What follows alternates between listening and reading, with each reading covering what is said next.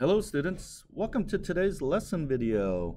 Today's goal is going to be to continue to familiarize ourselves with PSA style questions, PSAT style questions that is, and continue to practice finding the volume of cylinders and cones, along with finding missing dimensions such as radius and height. So uh, throughout this video, as typical, please go ahead and request uh, that the video be paused. I will also kind of cue you to pause at certain times. We're going to go in sections where I will model some of the questions, make sure that we are reviewing the different methods and workflow, and uh, make sure that you have uh, ample opportunity to go ahead and do certain pieces of the work. Okay, so with that being said, you should have this worksheet in front of you. Okay, if you do not, please go ahead and request it from your teacher. In a moment, we're going to go ahead and get right into the PSAT section. That'll be the front page. So here we go. For the PSAT practice, okay, remember each question is just to familiarize yourselves with ways the content you have already learned up to this point is phrased or presented. So uh, don't linger on one single question, but show enough work to make sure that you can substantiate your answer. Okay, there are four that are sitting in front of you. Okay, at this moment, okay, I'm gonna have you go ahead and start these and expect to take about five six minutes. Okay, so with that being said, teacher, could you go ahead and pause this video and then in, a, in about five, six minutes or when most of the class seem to have completed these, we'll go and unpause it and discuss the different answer choices. Go for it. All right, students, so you should have ample time to go ahead and finish these, but I'm going to go ahead and discuss the first couple here and move on to the next two. So the first one okay, asks us which equation defines f, and if you notice, they're asking for us to take the information slope and that point and put it in slope-intercept form, that classic y equals mx plus b. On the screen, you should see most of the work that I determined. The slope was given was 3, and the y-intercept was negative 8 because x is equal to 0 when the y-intercept occurs. So the actual format, y equals mx plus b, you put 3 in for m, negative 8 for b, and your final answer would have been b. And in the second one, the nice thing about this is that they actually give you the formula. It says they're asking for the area of the base of a triangular prism. So the volume of the triangle prism is equal to BH. So that's where I, you can see highlighted on the screen, V equals BH. Putting in what we know, 216 for V and 8 for height, you solve for B, which comes out to be 27. That's like finding the missing dimensions, similar to some of the work we've already been doing with cylinders and cones. So uh, check, correct, adjust anything that you see on the board, and I'll move on to the next two questions in a moment.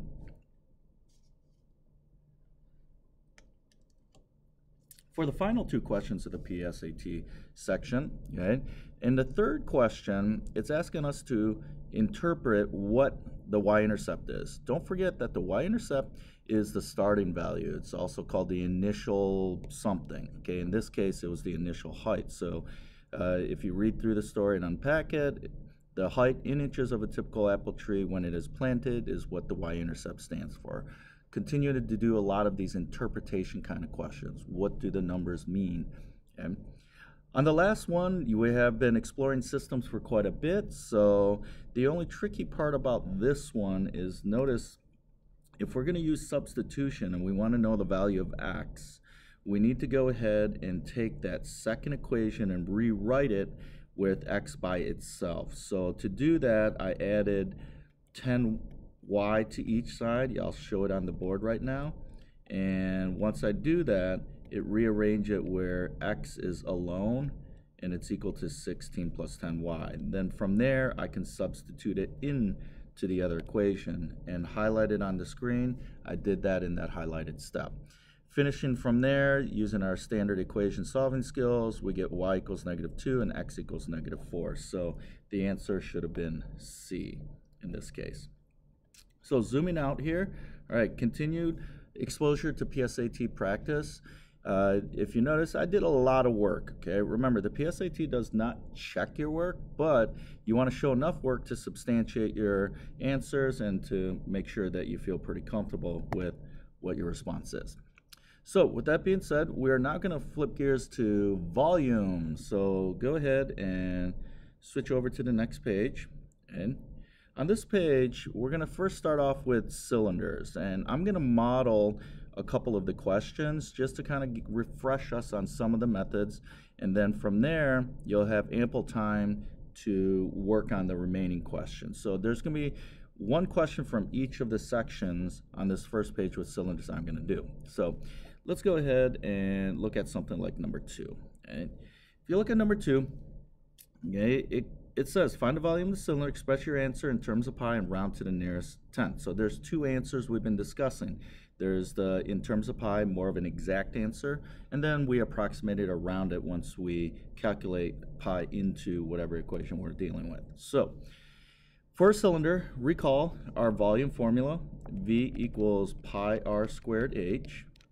Now I chose 2 because 2, uh, this cylinder, it only has two measurements, but you just got to be careful to make sure you pick the correct number to go into the correct dimensions. So we have radius and height. The radius is always going to be part of the base circle. So 2 in this case is going to be r, 9 is going to be h or height.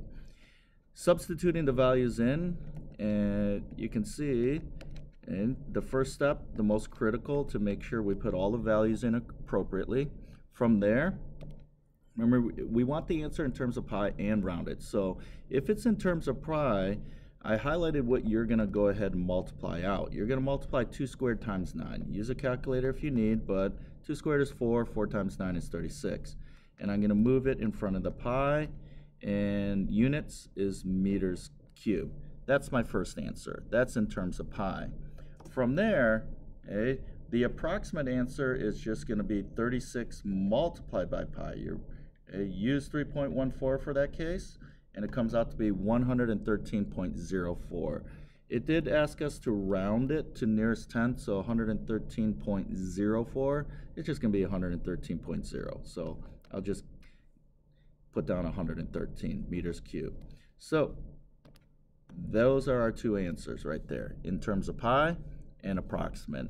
And generally, as you work through this, it gets very repetitive because formula work is supposed to be. And additionally, keep an eye on your workflow.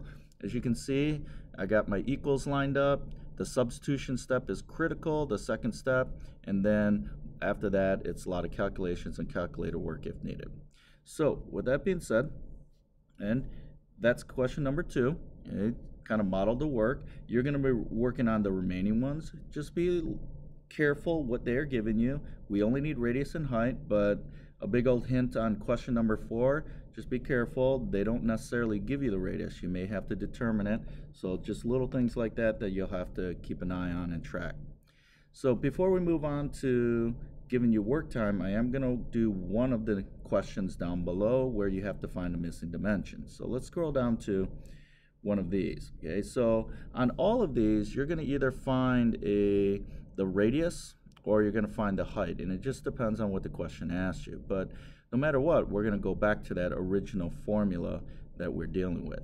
So the one that I want to do is question number six. Okay, so in question number six says sports bottle shaped like a cylinder with a height of 19 centimeters and a volume of 731.2 cubic centimeters. What is the diameter of the sports bottle? So if we're dealing with diameter, more than likely we're going to have to solve for the radius. Okay? Remember, the diameter is twice the radius. So let's go ahead and put down our formula because we are still dealing with a cylinder. So it's pi r squared h, and we're going to substitute everything we know. We know volume is 731.2. We know the height is 19. So putting that in, just like we do with the volume calculations above, you just got to be careful to put in what you know and continue to use that formula as intended. From there, if you notice, we have that r squared, so we got to make sure we're careful in dealing with that. Let me zoom in on it, and let's see if we can go ahead and solve this down. So typically at this stage, there's you can we got to isolate r squared. Now, what I would do, I'm going to kind of color code it here, is I would divide by 9 pi on both sides. Okay, I can do that in one step because we're only dealing with multiplication on the other side. So if I divide by 19 pi on both sides. You see 19 and pi cancel out over here. And over on the left side, we're just dealing with a calculation that we can put in the calculator. So when you put in the calculator, just make sure you're careful. Since 19 pi is an expression, I want to put it in parentheses when I put it in the calculator. So with that being said, let's go ahead and calculate that out. It comes out to be 12.3. I did round. And approximately r squared. Now I did use 3.14 for pi. I know our calculators do have the pi key, so if you choose to use that, your number will be just a little bit larger. Instead of 12.3, it would probably be like 12.4 or something like that. From there, we're going to go ahead and isolate r by square rooting both sides, because remember, square rooting cancels out a square, so we're left with just r on that side. And using our calculator once again, Square root of 12.3 comes out to be right around 3.5. So the radius in this case is 3.5. But going back to the question, it did said what is the diameter of the sports bottle? So the diameter is double that. So my final answer in this case, diameter is 7. Okay, and what's the units here? Centimeters. So at this point, okay, that gives you a look at both styles of questions that we're dealing with when it comes to cylinders, okay? Finding the volume and then finding a, a different dimension. Now, in number five and seven, okay, and you'll notice that you may have to find the height, okay? You may have to find the radius. Just be careful, okay? What you're solving for, it's still the same work because you are using the formula. So at this stage, let's go ahead and pause this video. Uh, you'll have plenty of work time. I would say probably around 10 minutes to go ahead and work through this page. And then I will pop up the answer key and discuss anything that, you, that, that seems important on this page. And then we'll move on to the cone section. So go ahead and pause this and continue to work on these remaining questions on your own. All right, students, we should have returned. Um, on the board, you should see the answer key for the first uh, four questions. I did not show the full work. That is available in the uh, in the scanned answer key that is linked in the homework calendar in Schoology. But uh, double check your work, see if you got an answer similar to what I have. If not, okay, you can always recheck, correct, and see what happened. Most often, the major issues will be that you swap the height and the radius. For example, number one, the radius is seven, not three. Three is the height. Okay, and the other mistakes that sometimes or often happen, especially working with numbers of this scale, is calculator errors. So double check one through four, and then I'm going to scroll down to five, six, and seven. So the height should have been two feet for number five, and for number seven, the radius is three units. Now, when you are working through this, especially on number five, uh, there's little things that you're going to have to catch. The diameter that they gave you was 11 feet. So when using the formula, we have to use the radius, which is five and a half feet. So those are things that you got to kind of double check. If you had any major issues with number five, that could be one of them. Okay, but otherwise, you're still continue to use that formula and solving for the missing dimension. All right, so at this point, I'll show the entire answer key in full, okay? Go ahead and pause this video if needed, okay? Don't forget, I said the full worked out answers are in the scanned answer document in Schoology. So I'm gonna go ahead and move on now to the cone section and discuss and model a couple of these questions, all right? So similar to what we are dealing with with, with the cylinders, we're gonna go ahead and use a formula and work through it. Very similar setup, but for the formula, I'm going to write it here on the side. There are two versions of this formula we can utilize. The first one is pi r squared h divided by 3, the whole thing. We can do that because it's all multiplication and division up there. Though in the book, in many books, you'll also notice it as 1 third pi r squared h. So either version is fine. Personally, I use the first one, just seems to be a little more accessible at times. All right, so with that being said, let's go ahead and model the workflow for these different problems. I'm gonna do just a couple, just like with the cylinder one, and then have you continue and finish. let's go and zoom in on number two. So it says, find the volume of the cone, express your answer in terms of pi, and round to the nearest tenth. Standard instructions. So just be careful. Once again, look at what's given. I noticed that they gave us 12 feet as the diameter, so the radius is going to actually equal 6. The height is that height in the very center, right, going up to the peak of 7. So write the formula down. V equals pi r squared h over 3. I recommend writing the formula down every time just to kind of get it locked in your brain. It's not mandatory. That's what I've been discussing with my classes, but you should write the formula down until you feel pretty comfortable with it. Substituting all the pieces in, it gives V equals pi times 6 squared times the height of 7, all divided by 3. Now, because we're dealing with the volume, the cone formula, we do have to be careful when we put it in terms of pi. When we put in terms of pi, typically what I do is do 6 squared times 7 up top, then I divide that by 3. You may end up getting some decimals or repeating decimals, but that is okay even in terms of pi. So let's go ahead and punch that out on the calculator. And in this case, we get a nice number of 84 pi feet cubed. And then, just like we did with cylinders, to get the approximation, I'm going to go ahead and multiply 84 by 3.14, and I get 263.76. I'll round that to 0.8 feet cubed. So, there we go. Our standard workflow with formulas. Organize. Okay, so breaking it down again, don't forget the substitution step that you see me highlighting right there. When doing it in terms of pi, multiply the top numbers and then divide it by 3 and place it in front of the pi. And then to get the approximate, multiply by 3.14. So at this stage, we should be fairly familiar with practicing this and working with this formula. It's a variation of the cylinder formula, so it's very, very similar. So you're going to finish up 1, 3, and 4 on your own.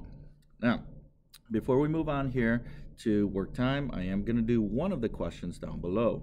So these are the finding the missing dimensions in the cones, and it says round to the nearest whole number. Okay, so we're just going to kind of get an approximation of these. So in both of them, you're either going to find the height or okay, the radius. There's not too much more that you have to do. So for this first example, I'm going to find the height since we did the radius one previously. For number five, it says, a sorcerer's hat is shaped like a cone with a diameter of 8 inches and a volume of 301.6 cubic inches. What is the height of the sorcerer's hat? So they gave us diameter of 8, so one of the first things I'm going to do is kind of make a mental note that I'm, I need the radius, and it's going to be 4. So I'm not going to use 8.